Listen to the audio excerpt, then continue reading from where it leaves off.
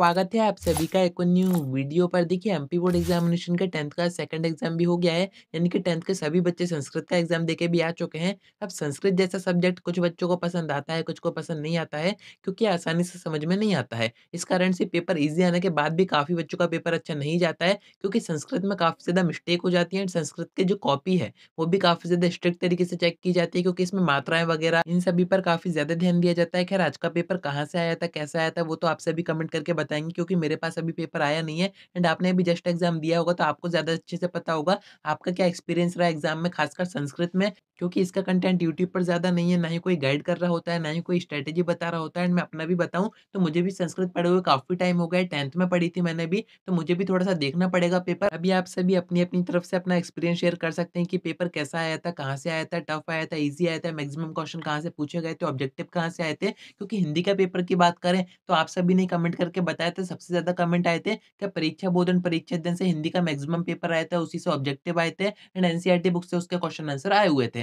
तो ऐसे ही आप सभी के फीडबैक के बाद संस्कृत का भी समझ में आ जाएगा कि आज का पेपर कहाँ से आया हुआ था। अब इससे होगा क्या? हिंदी का आपको समझ में आ गया कि परीक्षा बोध परीक्षा दिन से ऑब्जेक्टिव पूछे जा रहे हैं। संस्कृत का भी आप कमेंट करके बता ही देंगे एंड आप बाकियों के कमेंट पढ़ेंगे तो भी आपको समझ में आ जाएगा। अब आगे के जो पेपर आएँगे उसका भी आपको एक आइडिया हो जाएगा कि वो कहाँ से डिज़ाइन हो सकता है, क्योंकि दो पेपर हो गए पैटर्न आपको समझ में आ जाना चाहिए। इस कारण से हर एक पेपर के बाद मैं एक फीडबैक वीडियो ज़रूर से पोस्ट करता हूँ, जिससे कि आप सभी अपने अपने ओपिनियन सामने रख पाए, क्योंकि पेपर का एनालिसिस करके मैं आपको बता ही दूँगा, कोई भी टीचर आपको बता देगा, पर एग्ज़ाम आपने दिया है, आपने पढ़ाई की है पूरे सेशन में तो आपका भी यहाँ पर पॉइंट सुनना बनता है कि हाँ आपके अकॉर्डिंग कहाँ से पेपर आया था, कैसा आया था तो ज़रूर से कमेंट करके बताइएगा। बाकी बात करें कि क्या आज का पेपर भी आउट हुआ था, जैसे आपके हिंदी के पेपर की अपडेट सामने आ रही थी कि वो आउट हो गया था सुबह सुबह तो क्या संस्कृत का पेपर भी आउट हुआ था तो मैं आपको बताऊँ, मैंने आज सुबह सारे ग्रुप्स चेक किए थे, कहीं पर भी ऐसी कोई इन्फॉर्मेशन सामने नहीं आई थी, ना ही किसी बच्चे की तरफ़ से मुझे कोई पेपर भेजे गए कि ये पेपर आउट हुआ था। भेजे गए तो कुछ पेपर आते हैं जो कि आपको पता ही है, टेलीग्राम पर फॉरवर्ड होते ही रहते हैं, जो कि फर्जी होते हैं पूरी तरीके से। या तो वो पुराने पेपर होते हैं या फिर मॉडर्न पेपर को वो एडिट करके भेजते हैं।